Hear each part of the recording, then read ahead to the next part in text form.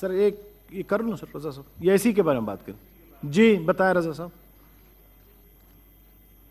Chairman یہ نہایت افسوس کی بات ہے کہ سینٹ سے جو بل پاس ہوتے ہیں وہ نیشنل اسمبلی میں یا تو ٹیک اپ نہیں کیے جاتے یا پھر جا کے نیشنل اسمبلی میں گم ہو جاتے۔ ہیں اور یہ بل جیسے آپ دیکھ رہے ہیں کہ یہ بل دو ہزار انیس کا بل ہے اور یہ نیش، سینٹ نے پاس کیا اور نہایت اہم بل ہے کیونکہ اس کا تعلق بینکس کے اندر ٹریڈ یونین ایکٹیویٹیز سے ہے اور دو ہزار انیس، دو ہزار بیس، دو ہزار اکیس، دو ہزار بائیس اور ہم آج دو ہزار تیئیس میں ہیں اور یہ بل نیشنل اسمبلی میں گم ہے اور وہاں پہ ٹیک اپ نہیں ہوا۔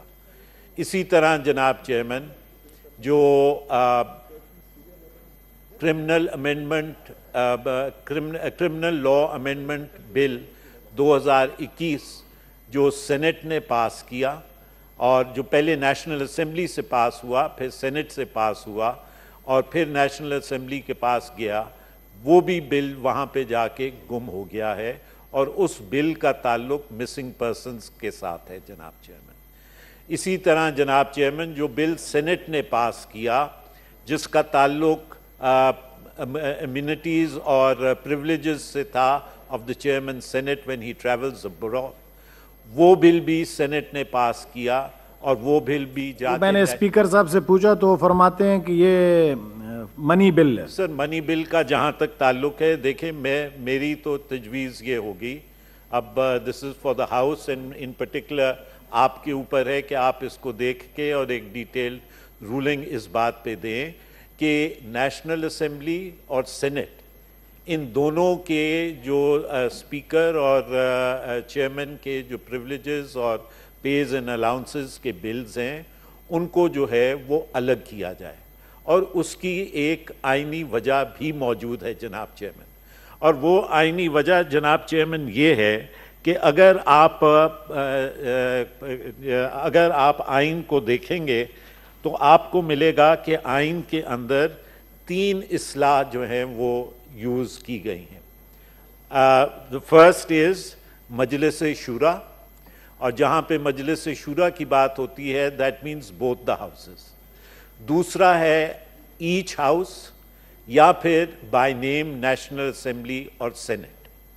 اسی طرح جناب چیئرمین، اگر آپ article eighty seven of the constitution کو دیکھیں گے، تو article eighty seven of the constitution جو ہے that talks about each house shall have a separate secretariat یعنی نیشنل اسمبلی کا سیکریٹریٹ الگ ہوگا۔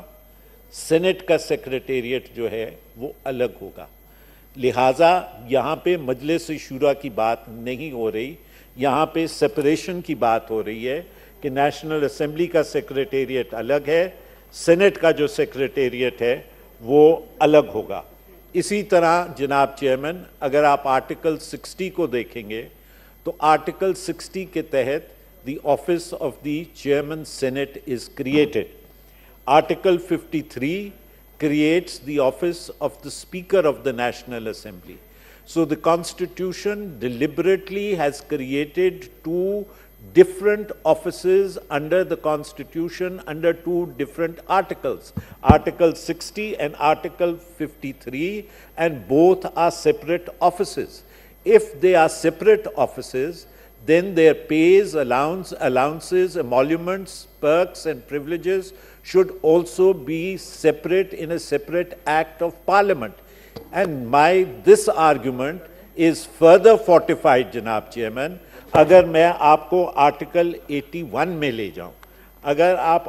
Article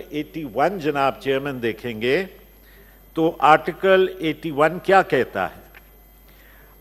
Article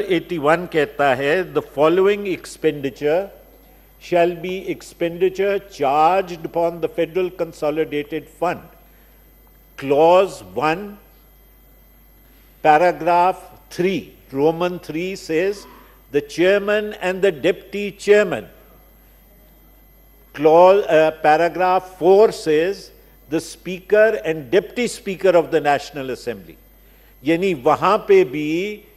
article eighty one کے اندر بھی جو ایکسپینڈیچر چارجڈ ہے of the office of the chairman and deputy chairman وہ سپریٹ ہے اور جو ایکسپینڈیچر چارجڈ ہے of the office of the speaker and deputy speaker وہ الگ ہے۔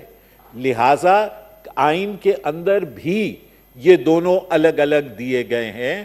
لہٰذا میری آپ کے آپ سے استدا یہ ہوگی کہ آپ اس بات کو سیکرٹیریٹ میں سٹڈی کروائیں تاکہ ان دونوں کے، کیونکہ اس سے ہو یہ رہا ہے جناب چیئرمین، کہ ایک تاثر یہ جاتا ہے as if the senate is in some manner or way subordinate to the national assembly جبکہ آئین کا کسی بھی طور پہ ایسا تاثر نہیں ہے۔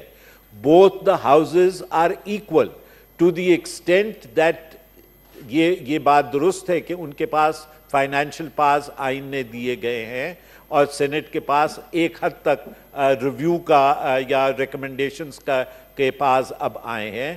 لیکن اس کے علاوہ both the houses are equal both the presiding officers are equal. In fact, in order of precedence, the chairman senate is higher than the speaker of the National Assembly.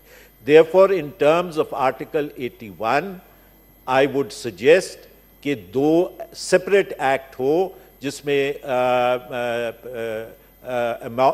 emoluments and privileges of the chairman and deputy chairman ho or national assembly agar apna. الگ act بنانا چاہتی ہے یا جو already existing act ہے، اس کو وہ لے کے آگے چلنا چاہتی ہے، تو وہ اس کو لے کے چلے۔ شکریہ۔ تھینک یو رضا صاحب۔ بس آپ اور علی ظفر صاحب، فاروق صاحب اس پہ اسسٹ کریں سیکرٹیریٹ کو بھی میں کہہ دیتا